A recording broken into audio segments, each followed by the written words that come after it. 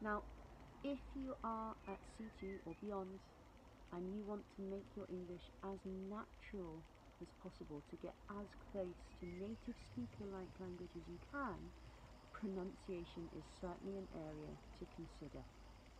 Now, personally, I don't believe it's necessary for you to eliminate your accent at all, but I understand that there are people for whom having an accent is not wanted for various reasons.